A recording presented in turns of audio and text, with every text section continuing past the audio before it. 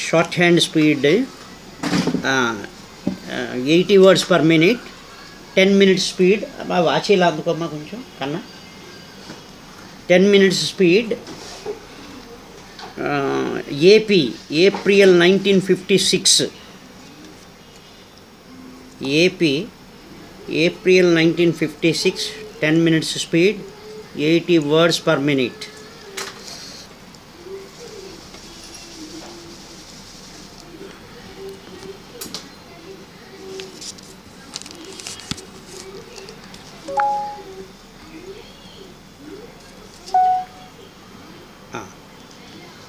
80 words per minute 10 minutes speed. AP April 1956 now write down. Gentlemen I consider myself very lucky in having the honor or moving this resolution.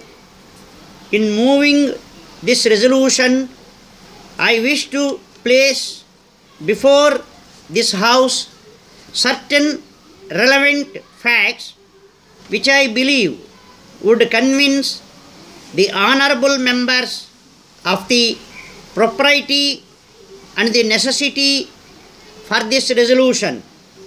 The question raised by this resolution is one intimately connected with the government of this country, the formation of provinces on the basis of language has been the subject of a very strong agitation and is more or less assumed as the correct basis on which formation of provinces can be made. Still, I wish to explain it to the House in my own humble way.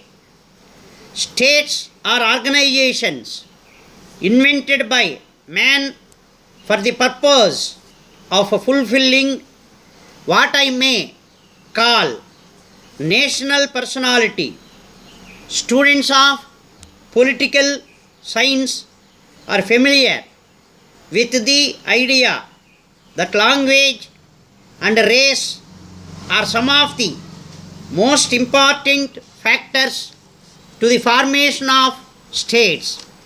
Unity of language convinces in a far larger measure to unity of design, unity of purpose, and unity of action on the part of the members of the state. Administration will be made smooth and efficient in single language states than in states with more than one language.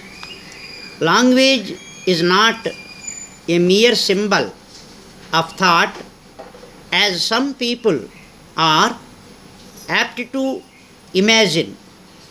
I feel that it is its own manifestation. Language and thought are one and the same.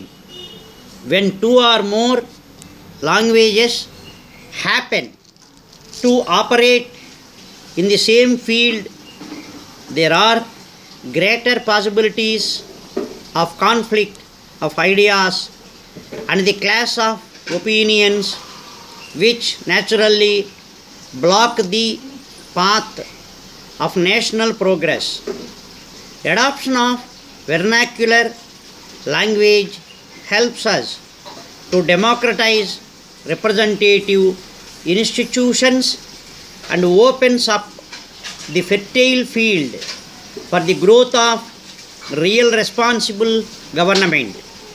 It helps to pass leadership into the hands of enlightened rural population.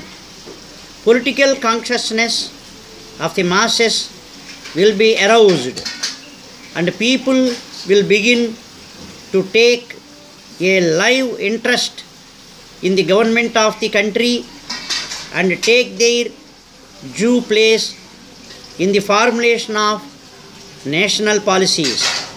I am therefore of opinion that the importance of language in the formation of states cannot be overemphasized. The Nehru report runs Thus, everyone knows that the present distribution of provinces in India has no national basis.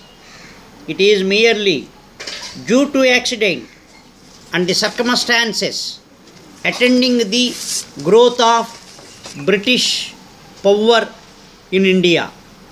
As a whole, it has little to do with geographical or historical or economic or linguistic reasons. Even from the purely administrative point of view, it is not a success. It is clear that there must be a redistribution of provinces. What principles should govern this redistribution?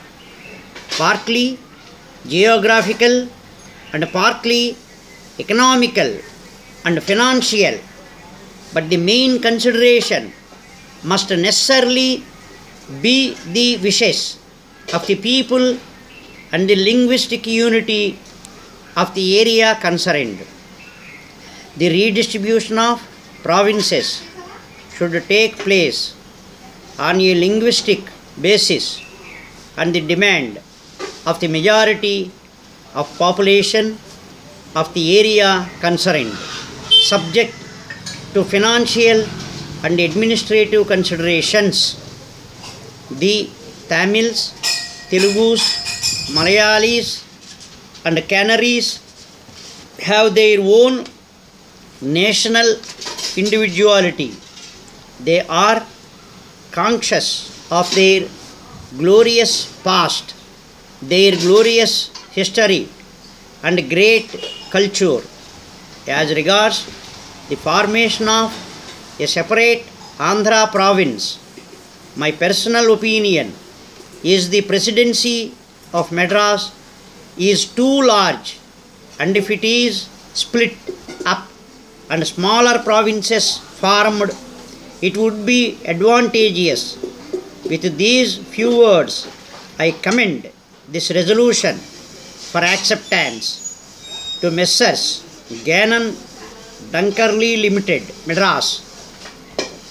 Dear sirs we acknowledge with thanks the receipt of your letter of the 10th instant with the plans and estimates, we would request you to reconsider the rates and charges proposed by you for the construction of the Children's Club at Guntur in the special circumstances set out below.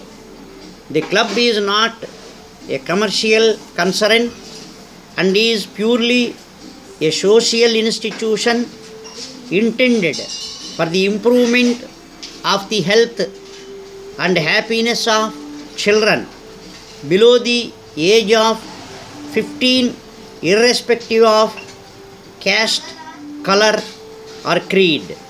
With great difficulty the members of the social welfare committee have succeeded in collecting rupees 20000 from the generous public and the central government has kindly sanctioned a grant of rupees 10000 the collector guntur has just issued orders sanctioning free of cost a site of 4000 square yards adjoining the ladies recreation club who have offered to bear the cost of electrical installations the young men's association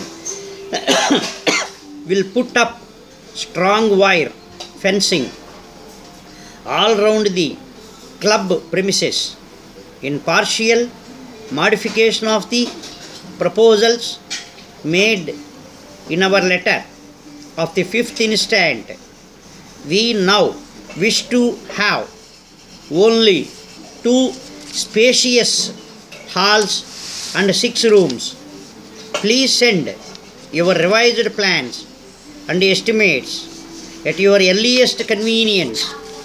We shall be much obliged if you kindly uh, contribute your might to this humanitarian cause by reducing your rates to the uh, barest minimum, soliciting the favor of your early reply. Yours faithfully,